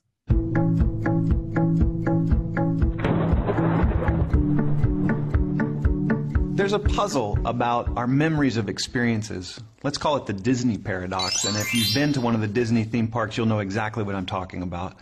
If we were to sample your happiness level at, say, a couple of dozen different moments over the course of your park visit, my guess is that in a majority of those moments, you would actually be happier sitting on your couch at home. It's less humid there, less crowded. You can get a hot dog for less than 10 bucks. But as we reflect on our park visit, it might be one of the highlights of the year. Why is that? Well, psychologists know that our memories of our experiences are not really fair. You know, we don't just take an average of our moment by moment sensations when we reflect on our experiences. Rather, we remember snippets, scenes, moments. And in particular, there are two moments that we disproportionately remember the peak of the experience, which is either the best or the worst moment, and the ending. So when we look back on Disney, we tend to remember the roller coaster moments, the sweet family moments, the surprises, but we don't recall that moment to moment sweatiness and irritability. Now, when we talk about creating better experiences for the people we care about, whether that's our, customers, our patients, our students, or our kids, what this means is that we're really talking about creating better moments. Great experiences hinge on peak moments. But there's a problem because we're not trained to build peak moments. We're trained to fix problems. We think that to create better experiences, we take a survey and we collect all the complaints and criticisms and we fix those things. But fixing problems doesn't make people happy. Fixing problems whelms people. Not overwhelms, not underwhelms, whelms. If you drive down a stretch of the road with no potholes at all, you're not ecstatic, you're whelmed. If your cable TV functions exactly as it's supposed to, you're not happy, you're whelmed. So if this is the reaction that we want from people, we need to start building peaks. Let me give you an example. There's a hotel in Los Angeles called the Magic Castle. You're seeing scenes of it here. It's not a lot to look at, is it? The amenities aren't that great. Would you be surprised if I told you this is the number two rated hotel in Los Angeles based on thousands of reviews on TripAdvisor? How could that be true? There's a phone by the pool. It's cherry red. You pick up the handset, you hold it up to your ear. Someone answers and says, Popsicle hotline, may I help you? You can order up grape or cherry or orange popsicles delivered to you at poolside by someone on a silver tray wearing gloves like an English butler, all for free. There's a snack menu where you can get Cheetos and Cracker Jacks and cream soda all for free just for asking. There's a board game menu. There's a movie menu allowing you to check out things for free. There are magicians doing tricks in the lobby in the mornings. You could even drop off your laundry. They'll have it done, washed, and folded by the end of the day. And now you're starting to get a feel for how this unassuming place could be the number two hotel in LA, just ahead of, you see that? The Four Seasons Beverly Hills. What this teaches us is something so important. Great service experiences are mostly forgettable and occasionally remarkable. People are willing to forget a lot of average, a lot of mediocrity, as long as there are some moments that are special.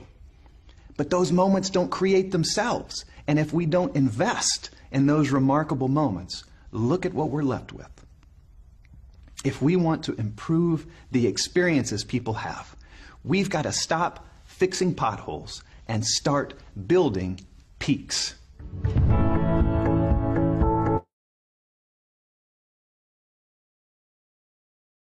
Noel, you're on mute there.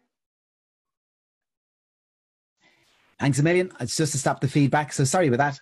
When it comes to your content for your website, that's the biggest tip I can give you know your social media your website you're looking to share the experiences of successful clients and customers those reviews so in the questions and dennis asked and thank you dennis for doing that he says my website is newfields.com i'm getting lots of traffic but it's not converting into sales help so that shot out to me so that's why i picked dennis first dennis if you can explain in a very quick video on the page the benefit of um, microgreens, right? And build a peak. Somebody else talks about nutrition of them and how brilliant they are for kids, for families, um, for the environment in a very simple 30 second video or less. You'll find that people will get it easier and want to buy more readily. It might be they find the site but they're not being converted because they don't understand. They're just whelmed. They're not overwhelmed. Um, I'm going to ask the question. I'm, uh, Sharon, I'm just watching the, the time, so I promise I would do this at the end. Um, and that was I'm going to ask you to go back to um, the. Did I delete it? I did delete it. That was great. Let me just refresh it there. There, I got it.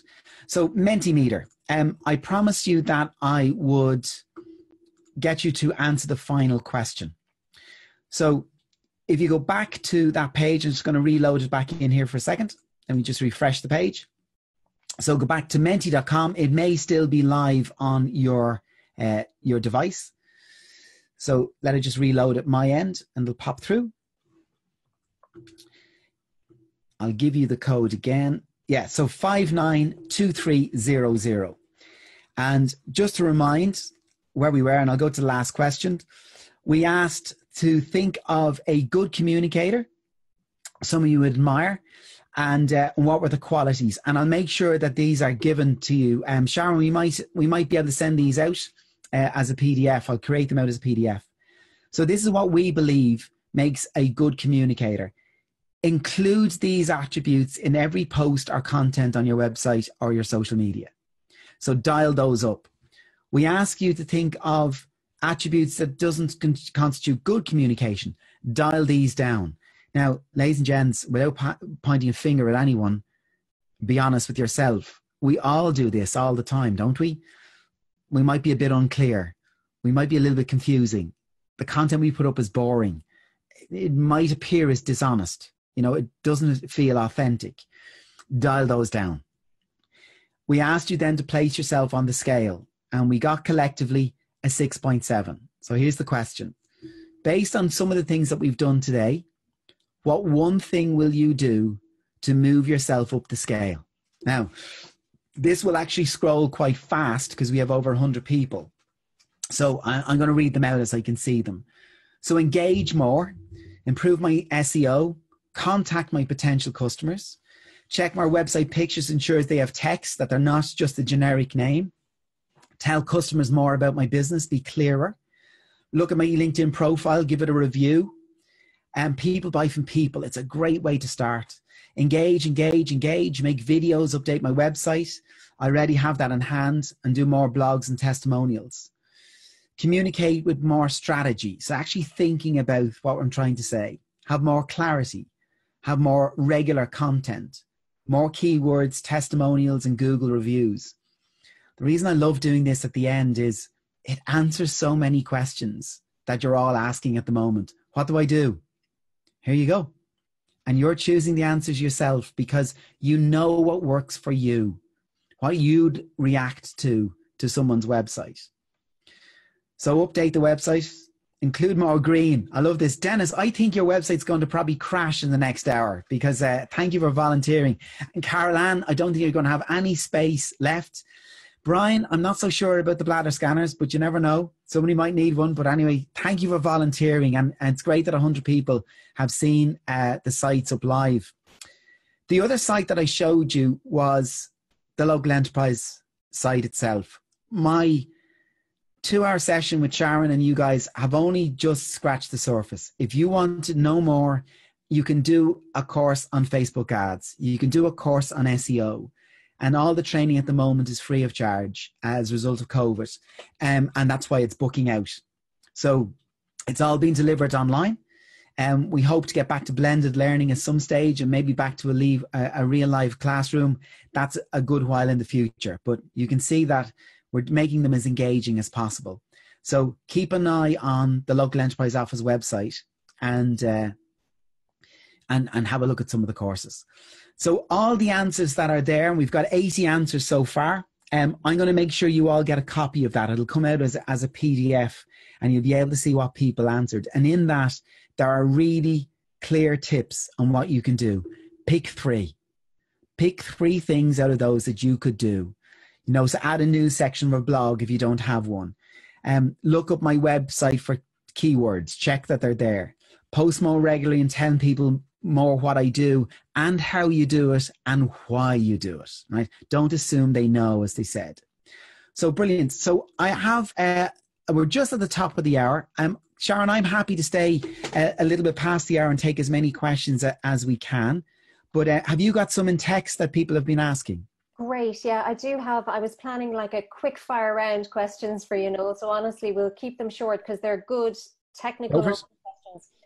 our company Google listing address is Donabate, but we service the whole of the Dublin area. Is there a way to boost our Google map listing despite our lack of a central location? So what I think they're asking for there is we want to show the whole of Dublin we're open for business, not just Donabate. Yeah, so you saw I desanitized my location and had my servicing all of Dublin. So you change your listing to say that you service within 25 or 50 miles of Donabate as your base um, and you include those keywords. So um, we have been delivering to Athlone, to Galway, to Kerry, to Cork, to Galway from our Donabate base. That will cover it. Brilliant, perfect. So include the names of where you service. Uh, speaking of keywords, how many or what's the minimum amount of keywords per page would you recommend? I'm always asked that in a different way, where somebody says, if I go in and change my uppercase T to a lowercase t, does Google see that as a change? It does, but it knows you're trying to cheat. So that's where that question comes in. It loves a paragraph of text. 30 words or more is a paragraph. It's lovely. So four or five words on the page, yeah, it sees you, but it likes little chunks of 30 words of more. And that's why a blog post works so well. Doesn't have to be huge. 30 words is not a lot. It's four or five sentences. Mm-hmm. Okay, brilliant. And actually, someone asked a very interesting question there is there any way a competitor can go into that cached view and change things around? No, but they can see them. So you can do a mystery shop on your competitor, put their website into the cache view and have a look and see, especially right. if they're beating you in search. Right? Mm-hmm. And the good news is if you copy some of the more regular search terms and include them on your website, it becomes new content and Google then kicks you above. Mm-hmm. Okay, brilliant. When I post a video, how do I add text to it? So when you post a video, Google is blind and deaf. It doesn't see the video. It sees the little box where the player is. So it sees the text associated with it. If it's YouTube, it's going to be the title and description. If it's Vimeo, it's going to be the title and description. If it's a native file that you're storing on your website itself and it's not on YouTube or Vimeo, the file name and the words tagged to it. It treats it like an image. So you'll notice on your websites, you have that opportunity to change the file name and you can tag keywords to the image. That's it. Brilliant, brilliant. Is there any nifty way of transferring Facebook reviews over to Google or does it all have to be added native by the people themselves? So there is a nifty way. There's loads of plugins um, that will take content from your feed. Unfortunately, Google doesn't rank it. So it looks lovely and you get your Facebook feed appearing on your front page of your site. Great for the user doesn't contribute very much to search engine optimization. Mm-hmm. Okay, right, yeah. So you just have to be careful on that. Um, and then there was a question around: Can Web Designer add tags, or do you need to save the photo with words? So the, the web designer can add tags. So you, it doesn't matter if your website is full of images at the moment that have never been tagged and they all have the generic name. You can go in and rechange them. So that can be done. You can do that yourself. Um, if you don't know how to, I would uh, pay for an hour of your web designer's time where they show you how to do it and do it with three or four images, and then you get stuck in and, and working on the rest of them. Okay, brilliant, brilliant. And then someone has asked me to talk or asked you to talk about hashtags given the limited time, but if you had to throw out something on hashtags, no, what would you say? They're just words like anyone else. So um, Google will find the word with or without a hashtag. Where hashtags originated was in Twitter originally, where if you used a word and you put a little hash in front of it, it became a theme or a topic. So if you were to think back to the golden pages, how somebody found your business, they went to that category. So the hashtag was a category. I wouldn't get hung up on putting a hash in front of every word. Um, it's become a social meme more than anything else. And we used to say, "Oh my God, hashtag I'm I'm knackered," you know, or whatever it may be. Um, that was fine. Google's going to see the words regardless. So um, it does give you a category or a theme that somebody can type for that. It's still going to find them. Yeah, yeah, and that's Google really. And then otherwise on Twitter and that, it's a different story. They have their own algorithms on how they use hashtags. Brilliant, brilliant. I just want to give a shout out here, um, a couple of things. So first of all, if anyone wants to sh- save the chat, because there's been some brilliant information shared and a lot of company have shared companies have shared their details just um, in the chat there, the three buttons there, the three little dots, sorry, the three little dots across from the name there. If you click that, it'll allow you to save the chat and you'll have that and you can go through later. We mentioned before the power of networking, absolutely worth it to connect with people who are here, uh, whether it's on LinkedIn, Instagram, Twitter, whatever, you know, I'm uh, even just Google, Google people in and, and then you'll find them. Um, the other thing I want to say really quickly, Noel, if you don't mind, because I'm conscious of people dropping off. Um, next week, so this has been episode three. Next week, we have episode four, which is the last in this series of Restart Fingal. It is all about building mental and financial resilience in the new normal. So, really, this has been a series. Obviously, being an online presence is obviously huge for your business, but the, the last session is really going to wrap up everything that we've talked about so far we are recording all of these and they're going to be they're going to have a little home on the leo fingal website called restart fingal so you can go into these at your leisure. And i just want to mention that so that's susan hayes culleton. She's a fantastically inspirational speaker. It's happening on the 30th of june at 10 a.m so i just want to encourage people i suppose to um, pop in save the date and the link will be out shortly. Um, the other thing is that when you save your link, you're going to see um, something interesting there from Denise Dunn. Um, she's from the Herb Garden, but in particular, she's set up a website called Shop Local, and it's where local businesses can add their details. So, well worth checking that out.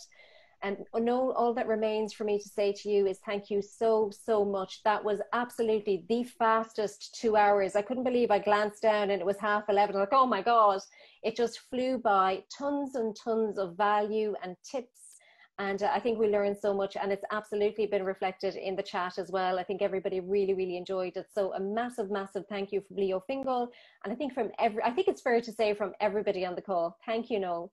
You're very welcome, and uh, and I would urge everyone actually to join next week. Susan Hayes is amazing. She's the the positive economist, is what she's called. So well done, Sharon, for organising the webinars. Thank you very much, everyone. Thank you, Noel. Take care. Thank you. Bye bye.